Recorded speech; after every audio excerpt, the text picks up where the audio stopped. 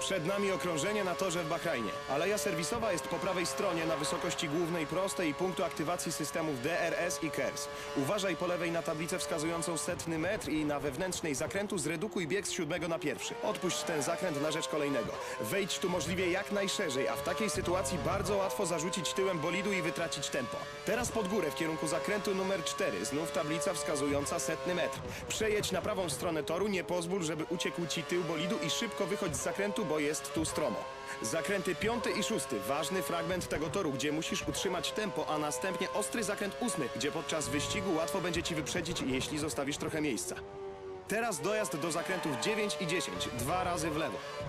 Bardzo łatwo zblokować sobie lewe przednie koło, bo tuż za wewnętrzną tracisz siłę dociskową. I znowu nie za szeroko. Uważaj na krawężnik. Możesz na nim stracić czas i tempo potrzebne ci na tak krótkiej prostej wiodącej do zakrętu numer 11.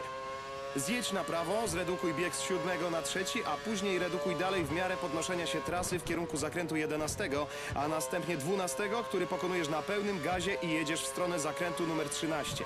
Tu wchodzisz jak najszerzej, bo zakręt wyprowadza cię na tę wspaniałą, długą, prostą tuż przed ostatnim łukiem. Przed ostatnim zakrętem trasa wznosi się i opada, co bardzo utrudnia hamowanie. Uważaj po lewej na tablicę oznaczającą setny metr i wprowadź bolid w ten ostatni podwójny zakręt w prawo. Musisz z niego dobrze wyjść, bo w czasie wyścigu będziesz łatwym celem na dojeździe do zakrętu numer jeden.